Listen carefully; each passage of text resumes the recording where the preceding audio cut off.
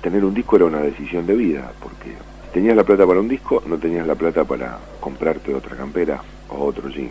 Pero bueno, vivíamos con un jean y con una campera nada más, y podíamos tener más discos. Hola, soy Gregorio de la Ferrer y estás escuchando la Podcast Record. Una vez tuve la chance de hablar con el ruso Berea, periodista de rock.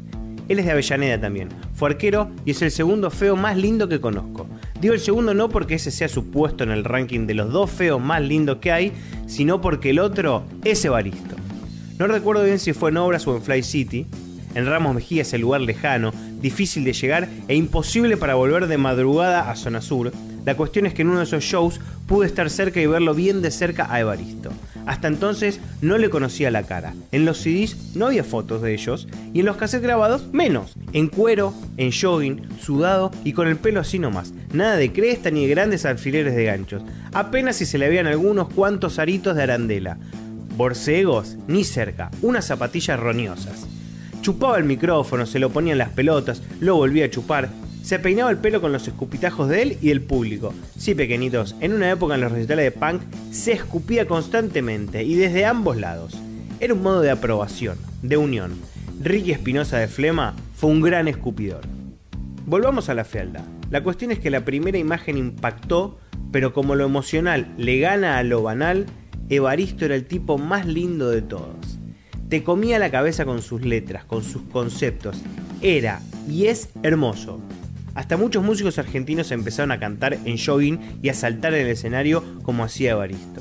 Se me viene a la cabeza la querida banda Spin. Ellos lo habían logrado a la perfección. Su cantante se movía como Evaristo. El ruso Berea, feo número 2, le competía de igual a igual a Evaristo. Él era el periodista que todos queríamos ser. Sabía mucho, tenía discos, había jugado al fútbol y había creado el mejor programa de heavy de la radio en la cual aprendimos de todo.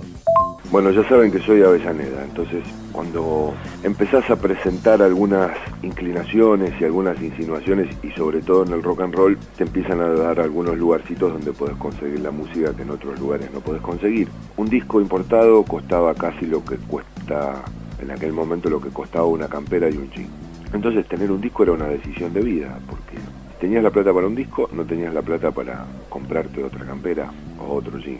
Pero bueno, vivíamos con un jean y con una campera nada más.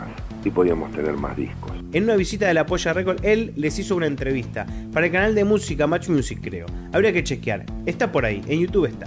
Cuando pude tener uno de mis programas de radio, lo ubiqué al ruso Hebré y le pude hacer una nota y hablar del barrio, del modo de conseguir música. Yo lo hacía en la Galería French, al fondo, en un local llamado Rocarola en Avellaneda hace 30 años que abrí el local con un socio, Osvaldo, que ya no está más hace rato. En ese momento era poner algo, no, importaba el lugar, si fuera en el fondo, donde sea, porque la onda era que sea una cueva, cuanto más cueva mejor, más mítico que siempre era, ¿viste? Fue una época que arrancaban eh, el tema de las grabaciones, arrancaba todo ese tema de la tecnología, no, de computadoras, pero ya así de grabadores que copiaban, ¿viste? Sumado que la economía no, andaba del todo bien, eran cosas que no se conseguían de otra forma, que no eran grabaciones, porque habían discos importados carísimos que no se podían conseguir.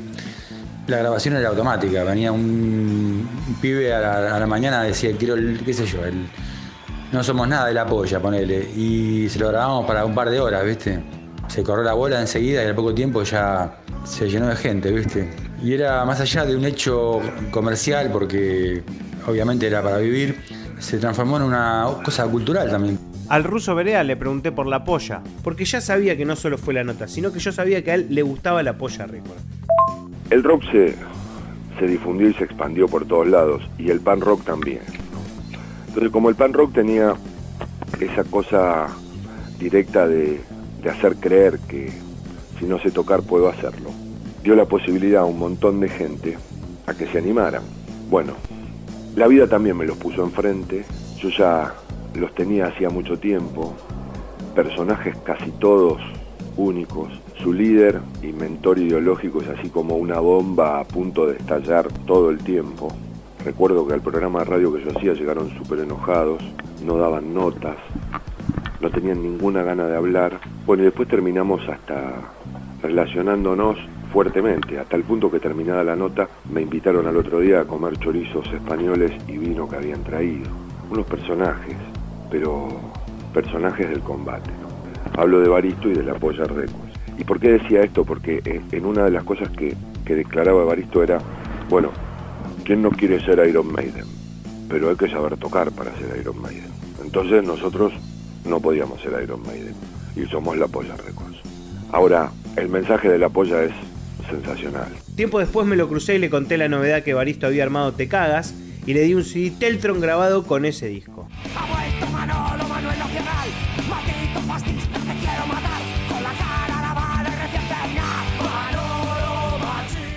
Ruso Berea.